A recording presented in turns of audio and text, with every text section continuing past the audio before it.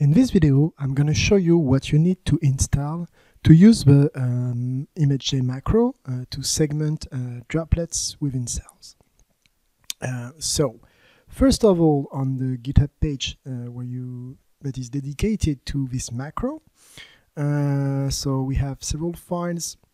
Uh, what is really interesting for us is to download the, the macro. So if I click in here, I can then download it. So that's the macro we will use within Fiji.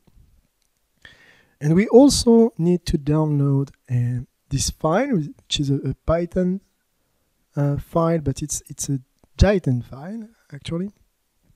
So uh, so we can uh, use the log detector that was designed uh, to be used in um, in TrackMate, which is uh, very efficiently implemented.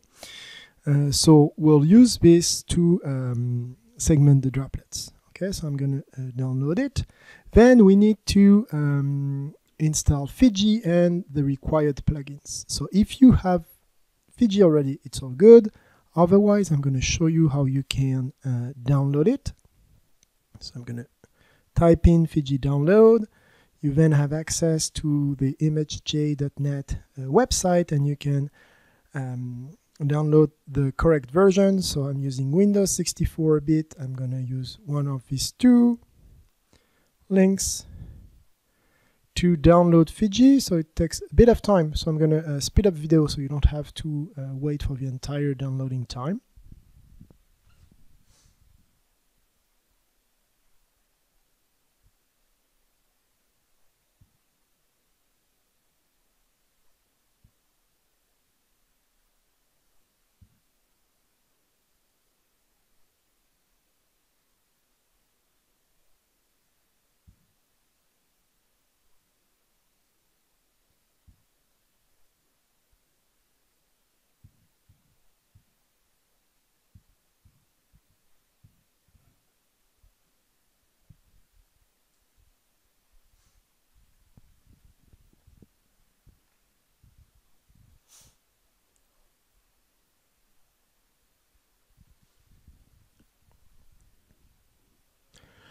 All right, it's down. So I can uh, then go to my uh, download folder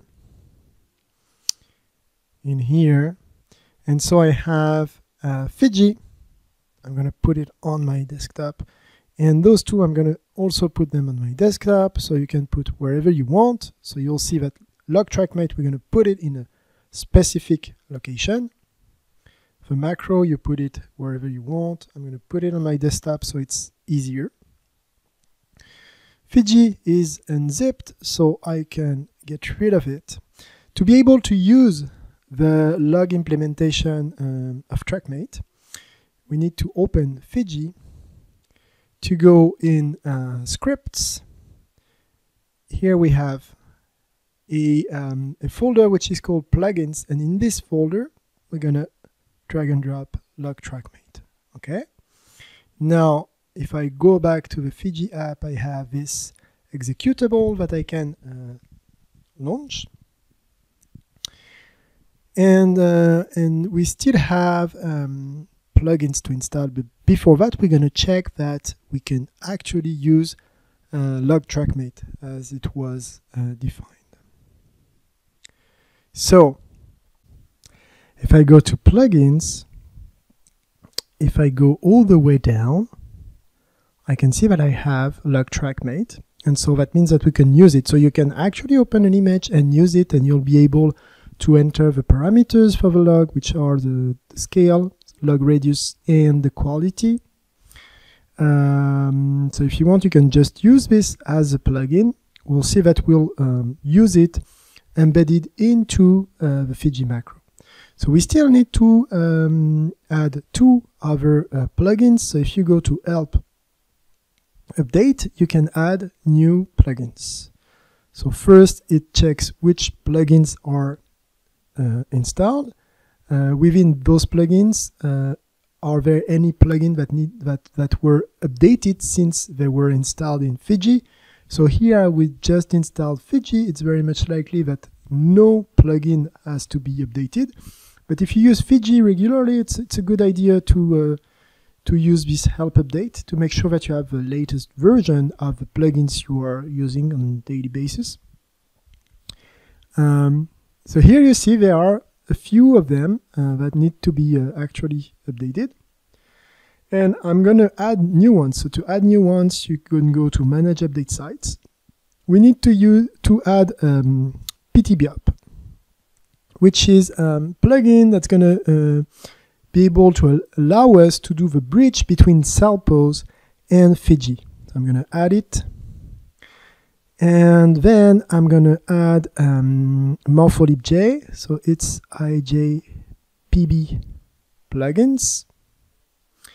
Uh, so I'm going to check this one as well. And now I can apply and close. So I added BIOP, so PTBIOP, and it will be, um, so it will appear as a BIOP plugin.